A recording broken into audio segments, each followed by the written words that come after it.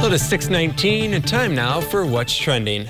A Canadian woman says she had a Cinderella moment when she went shopping for used roller skates. As fate would have it, she coincidentally came across her own skates that she parted way with 40 years earlier.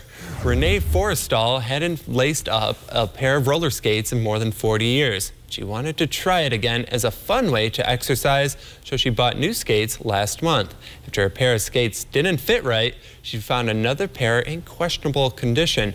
She was intrigued by the price, and when she went to uh, go try them on, felt that it was a perfect fit, and when she lifted up the tongue of the shoe, she saw her name in there. The, main, the man selling the skates, James Bond, says his heart was filled with joy watching Renee react as she reunited with her skates. As for Renee, she says that this is a sign that she should start skating again. And you know, how about that? 40 years later, and you end up just getting your skates back.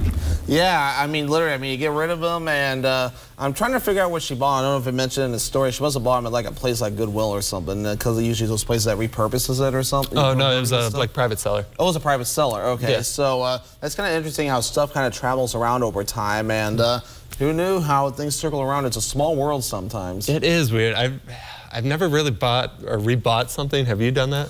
Uh, I don't think I have. I, I can't say I have either. So. If, I know my dad's watching right now, so if he knows, let me know. But meanwhile, though, we got to keep going. We're short on time. And New Mexico students who were displaced by wildfires got a second chance at having a prom after the governor stepped in. About 75 juniors and seniors from Mora High School got dressed up for the event, which included crowning a prom king and queen. Governor Michelle Grisham said she was honored to host the party, saying the students deserve to celebrate the end of the school year and every milestone that comes with it. The, the Hermit's uh, Peak and uh, Calf Canyon fires are the largest in the state's history. More than 312,000 acres have burned, resulting in school closures and evacuations of wildfires. We're 47% contained as of Friday evening, so finally some progress there, and finally the students can have a chance to dress up and uh, look cute in the situation and be able to enjoy some time together. Yeah, all politics aside, this is a great thing. Yes, Just because, is.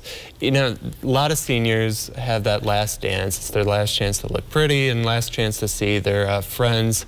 Um, mm. But, it, and some people, and I guess natural disaster kind of just took it away from them. So it's a great thing that the governor just stepped up and it helped them out a little bit in this way. A small act of kindness, or in this case, a large act of kindness, as I call it, can go a long way. It really does, for sure. Well, taking a turn to our last story, uh, police in Colorado are searching for intruders who attempted to rob a house, but they were thwarted as the family arrived home thanks to an alert dog.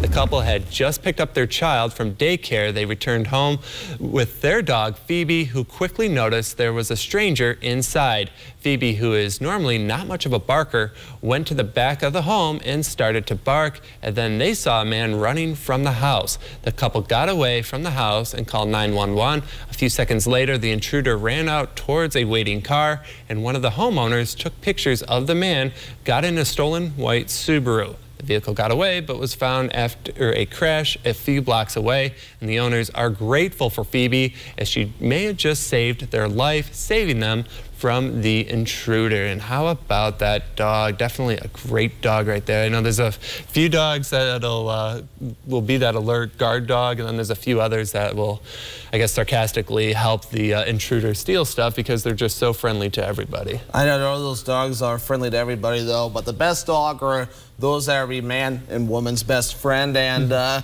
can obviously love them and obviously protect what, belong, what, what matters to them. In this case, uh, what's also known as the doggy's home. So um, obviously, uh, it was great to see um, scare that intruder off, and of course in a stolen vehicle. What else, yeah. right? And yeah. then, of course, crashed. Yeah, I got a quick little story. Uh, my old dog Sandy, I mentioned her a few times. Sure. There was a um, cat that got under the deck many years ago, and she was just walking outside, and then she uh, I was watching her behavior as she looked underneath the deck. She saw something was not right, and then she just started barking at the cat that was underneath, and then she started looking at me, who was like inside outside the window, and uh, she started barking at me like, "Hey, something's not right here. Fix it."